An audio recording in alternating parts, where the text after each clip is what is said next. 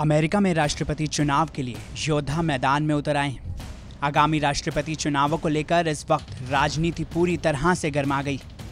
हाल ही में ट्रंप को विजयी बनाने के लिए पत्नी और अमेरिका की फ़र्स्ट लेडी मेलानिया ट्रंप ने क्राउड को संबोधित किया था। डोनाल्ड ट्रंप के लिए आई भीड़ को संबोधित करते हुए मेलानिया ट्रंप ने रिपब्लिकन नेशनल कन्वेंशन की दूसरी रात को राष्ट्रपति ट्रंप के लिए जमकर आवाज़ बुलंद की। इस दौरान मेलानिया ने कहा था कि ट्रंप कोई परंपरागत राजनेता नहीं है। वो सिर्फ़ शब्दों का सहारा नहीं लेते, बल्कि वो कार्रवाई की मांग करते हैं। मेलानिया द्वारा ट्रंप के सपोर्ट में दिए भाषण के बाद अब पिछला राष्ट्रपति चुनाव हार चुकी हिलरी क्लिंटन ने ट्रंप पर निशाना साधा है। ट्रंप के विरोधी डेमोक्रेटिक राष्ट्रपति पद के उम्मीदवार जो बिडन को सपोर्ट करने वाली हिलरी क्लिंटन ने ट्वीट करते हुए डोनाल्ड ट्रंप का घेराव किया। उन्होंने लिखा कि हमने कल रात जो कुछ भी देखा, वो ट्रंप प्रशासन के बारे में बहुत कुछ बताता है।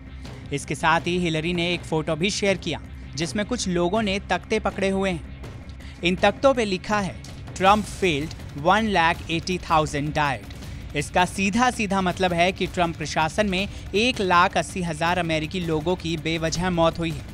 इससे पहले भी हिलरी ने जो बिडन को एक सलाह दी थी, जिसमें उन्होंने कहा था कि चाहे कुछ भी हो जाए, तीन नवंबर की रात को ट्रंप से हार बिल्कुल नहीं माननी है। क्लिंटन ने कहा कि साल 2016 में चुनाव की रात को उन्होंने हार मान ली थी, लेकिन अब ऐसा बिल्कुल भी नहीं किया जाएगा। कोरोना वायरस महामारी के कारण मेल इन वोटिंग सिस्टम के चलते इस बार नवंबर में होने वाले चुनाव में विजेता का पता लगने में ज़्यादा समय लग सकता है।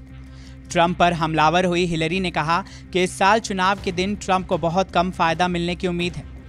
ऐसे में जो बिडन को किसी भी परिस्थिति में हार नहीं माननी चाहिए।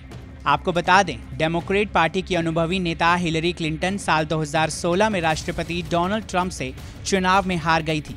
इस बार ट्रंप के प्रतिद्वंदी के रूप में डेमोक्रेट के उम्मीदवार जो बिडन हैं। हालाँकि पब्लिक ओपिनियन पोल्स के मुताबिक, इस बार डेमोक्रेटिक पार्टी के उम्मीदवार बिडन उनके लिए कड़ी चुनौती साबित हो सकते हैं। अब बिडन और ट्रंप में से कौन बाजी मारता है, ये तो वक्त ही बताएगा। अगर आपको वीडियो पसंद आया हो तो इसे लाइक और शेयर ज़रूर कीजिए। साथ ही देश दुनिया की तमाम खबरों से जुड़े रहने के लिए सब्सक्राइब कीजिए टीवी नाइन भारतवर्ष।